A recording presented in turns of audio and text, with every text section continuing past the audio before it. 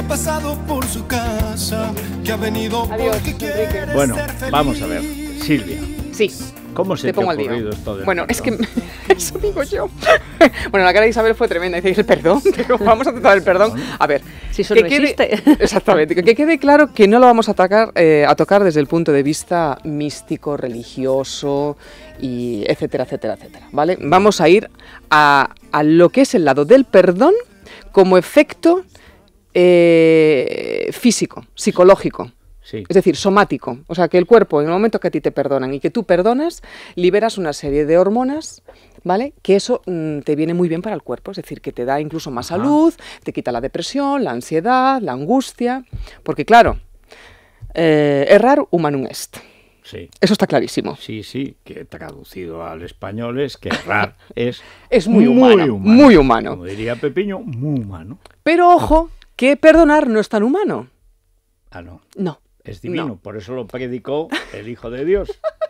Claro, claro. No, ojo, que... eh, Perdona, el es- Cristo sí, del sí, perdón, totalmente. ya lo dijo totalmente. Castelar. Grande es Dios en el Sinaí, más, mucho más grande es. No, no, es cuando que- en el el perdón, Totalmente. etcétera. es que hasta, hasta que Jesús aparece, y así lo tocamos desde ese punto de vista, no había perdón. Es más, Jehová, Había- es- Jehová se porta en el desierto como un hijo de Satanás, eh, perdónenme los israelíes observantes, pero no se hace eso como con los amalecitas. Era la- era la O sea, ley es del- que no perdonaba una. No, no, era la ley del talión. Bueno, y eso todavía lo comprendo Ojo por muy ojo, bien. diente por no, no, diente. lo malo es que el rey, el rey Dios, dijera, ¿y esta tribu qué hace aquí? Lo que hace con los egipcios. Totalmente. ¿Qué culpa tenían los primogénitos de los egipcios de que el faraón no dejara salir a, a A- a José?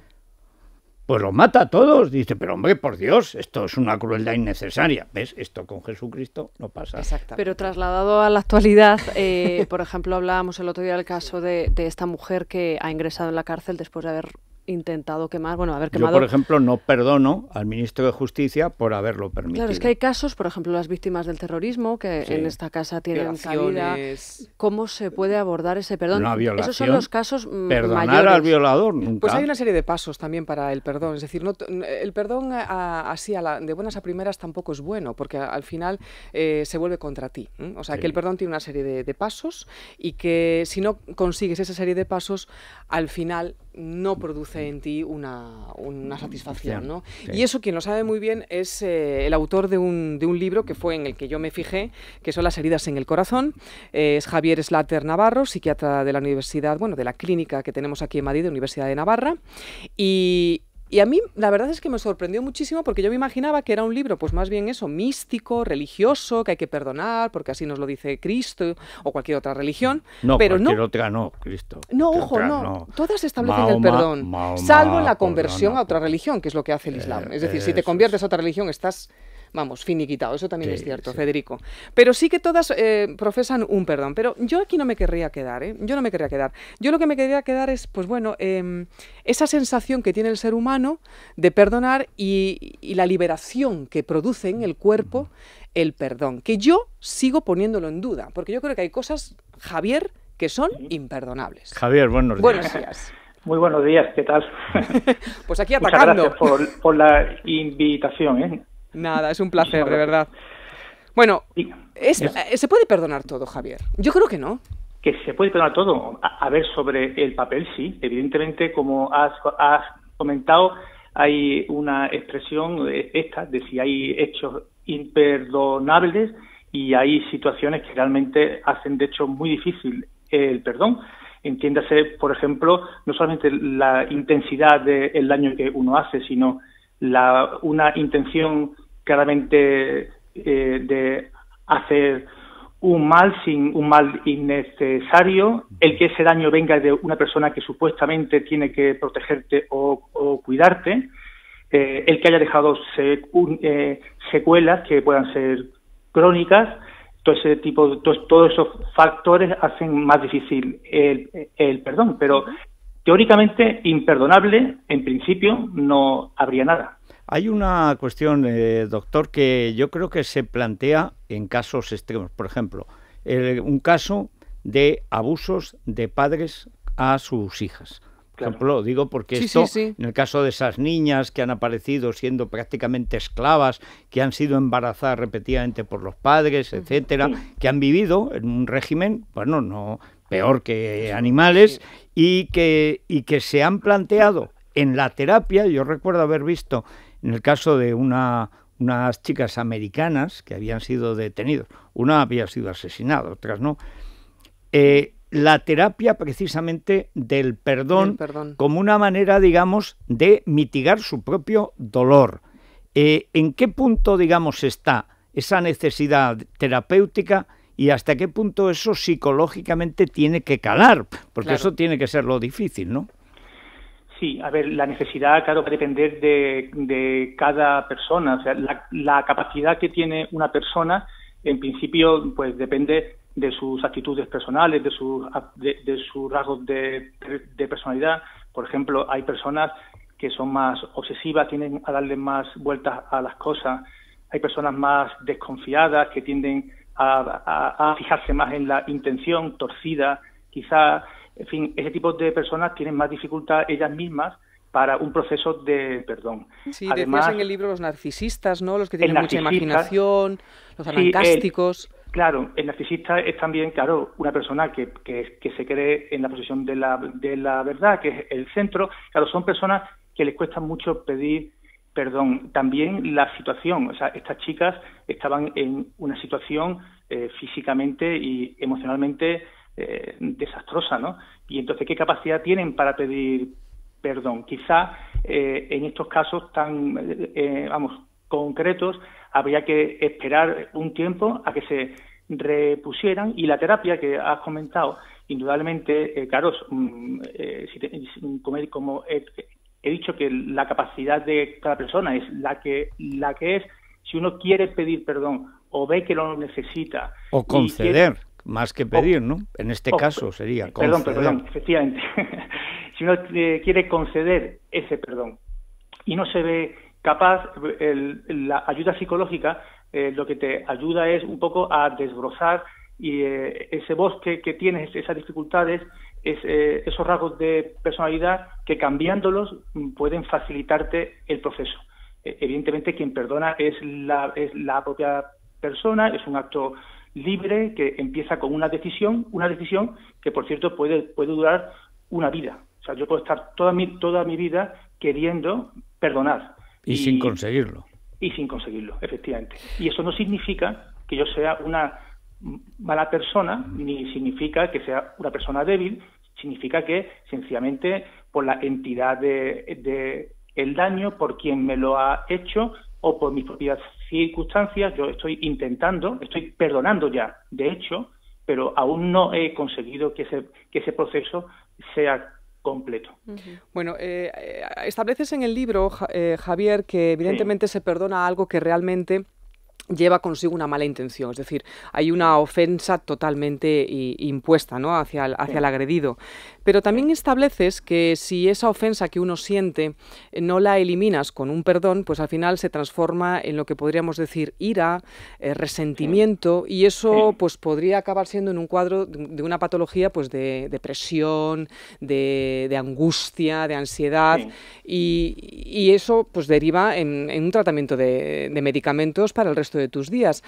Pero digo yo, si todo esto eh, puede suceder, y sucede, y también estableces que se puede perdonar, pero no olvidar cómo se come esto.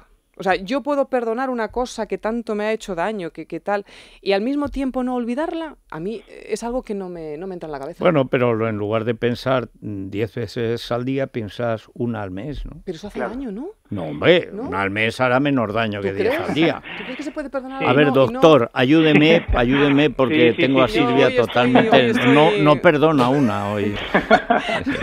no, es que me hace gracia que no se eh, pueda. Yo no podría. A ver, o el como he mencionado antes, es un proceso.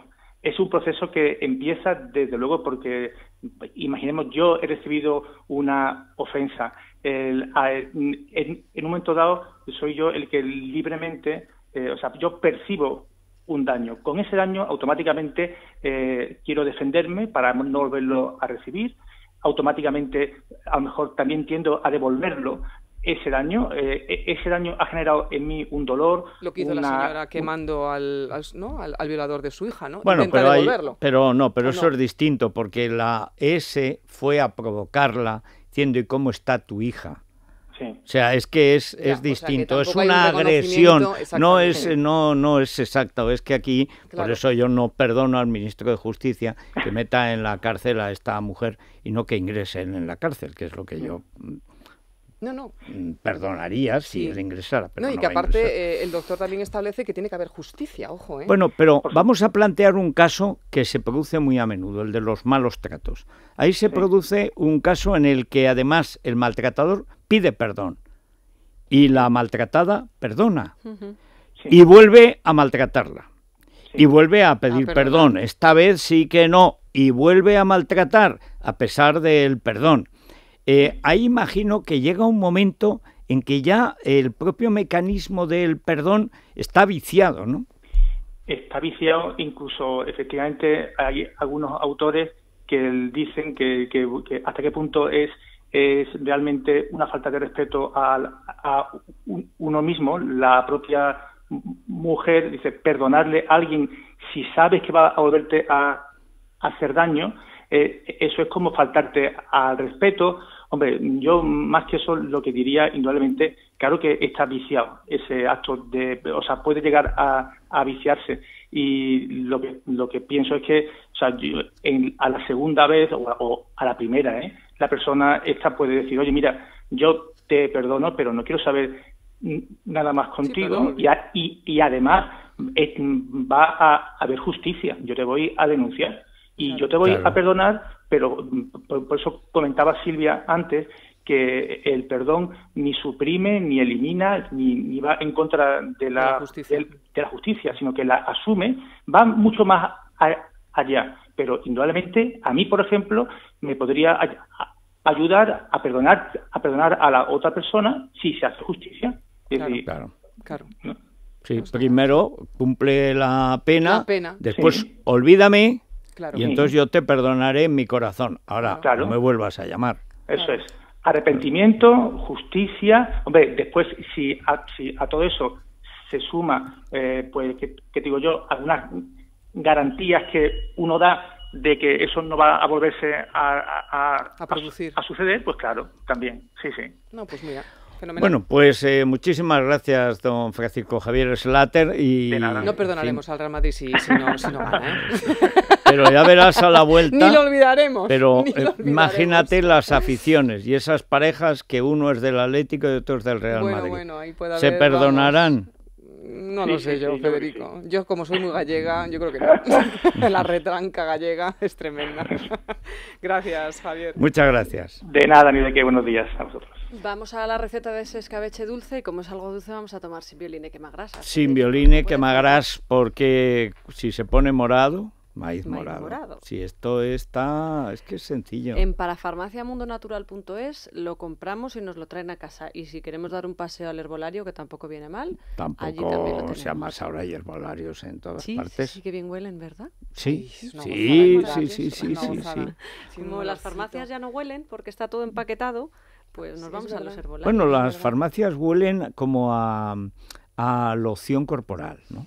O sea, yo ahí hay farmacias que entro y me recuerdan a algunas de estas que entras en el ascensor con ellas y dice, ya sé que te pones, eh, pero tampoco es necesario eh, esta insistencia, o sea, qué barbaridad. Sí, a mí me huelen a algo, sí, aséptico, algo, no sé, algo sí, Sí, pero en cambio las farmacéuticas están muy bien. ¿Mm?